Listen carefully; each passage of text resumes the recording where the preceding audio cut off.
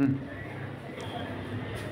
पर हम्म, हम्म, ये भीमेश्वर भगवान शंकर है भोलेनाथ ग्यारह रुद्र रूप है। यहाँ पर आप शंभु परिवार। अच्छा। यहाँ से तपस्या करके अपने पितरों के नाम से जोत जगा के फिर गए थे ये चारों धाम। यहाँ से। ये नैन मंदिर है। ये आशक्ति माता है। तो अच्छा, ये शक्ति माता मंदिर है। यही पुराना है बहुत पुराना मुझे लगता है। है ना? साढ़े पाँच हज़ार पुराना साढ़े पाँच हज़ार साल पुराना। चलो